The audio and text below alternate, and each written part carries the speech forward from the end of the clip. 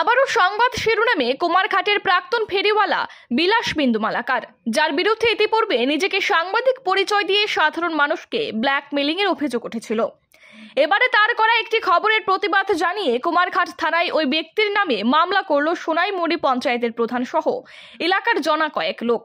মূলত ফেসবুকে একটি পেজ খুলে আর বাইকে প্রেস স্টিকার সেটে সাংবাদিকের নাম ভারিয়ে এই ব্যক্তির সাংবাদিকতা নয়, বরং সাংঘাতিকতায় অতিষ্ঠ কুমারঘাট সহ আশেপাশের লোকজন। উল্লেখ্য, সাংবাদিক পরিচয় দিয়ে অর্থ আদায় করতে গিয়ে জনতা রোশানেলও পড়তে হয়েছিল এই সাংঘাতিক বিলাস বিন্দুকে বলে অভিযোগ। এছাড়াও ইতিপূর্বে তাকে বিভিন্ন মামলায় হাজত হাজতবাসও করতে হয়েছিল বলে অভিযোগ। বুধবার কুমারঘাট থানায় করা একটি মামলায় তারা অভিযোগ করেন, এলাকার বিধায়ক তথা রাজ্যের মন্ত্রী ভগবান চন্দ্র দাসকে জড়িয়ে একটি সামাজিক মাধ্যম নির্ভর চ্যানেলে খবর প্রকাশিত হয়েছে। যে বিলাস বিন্দু মালাকার নামে ওই ব্যক্তিকে ভগবান দাসের লোকজন কর্তৃক মারধর করা হয়েছে। ওই ঘটনা সম্পূর্ণ মিথ্যা এবং উদ্দেশ্য প্রণোদিত বলে দাবি করেন এবং উদ্দেশ্য প্রণোদিত বলে দাবি করে এর সুষ্ঠু বিচার চান অভিযোগকারীরা।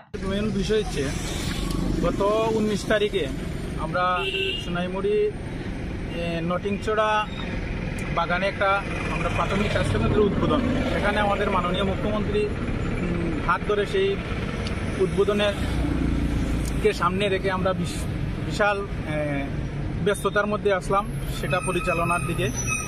হঠাৎ করে রাত্রেবেলা দেখতে পাই যে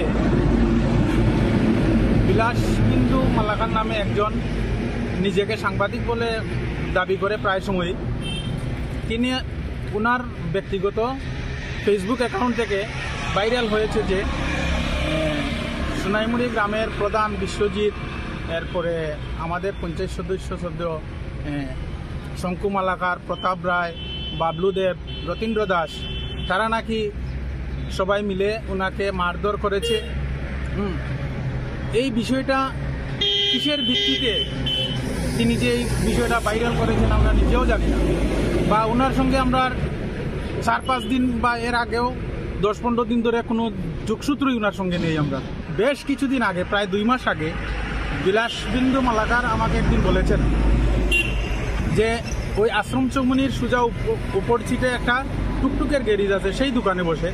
যে নেতা হতে গেলে নেটের মাধ্যমে নাকি ভাইরাল হতে হয়। তাই আপনাকে আমি নেতা বানিয়ে দেব। যদি আমাকে মাসে আট দশ হাজার টাকা উল্লেখ্য, গত কিছুদিন আগেও এই বিলাস বিন্দু মালাকারকে গ্রেফতার করেছিল পুলিশ। প্রসঙ্গত, কিছুদিন আগেও এই ব্যক্তি ফেরিওয়ালা ছিলেন বলে এলাকায় গুঞ্জন। হঠাৎই অবৈধভাবে অর্থ কামানোর ধান্দায় ফেসবুকে পেজ খুলে তিনি এলাকায় শুরু করেন সাংবাদিকতার নামে তোলা আদায় বলে অভিযোগ। কলুষিত করতে থাকেন সাংবাদিকতার মতো মহান পেশাকে। এর পাশাপাশি, সম্প্রতি একটি আঞ্চলিক রাজনৈতিক দলের সাথে সরাসরি যোগাযোগ স্থাপন করেন ওই সাংঘাতিক।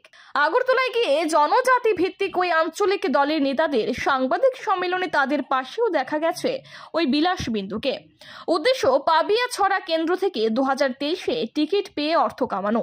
কিন্তু তার এসব অপকর্ম বুঝতে পেরে এবারে পুরোপুরি সতর্ক এবং আইনের আশ্রয়ে কুমারঘাটের সচেতন নাগরিকরা। Bureau report R E news.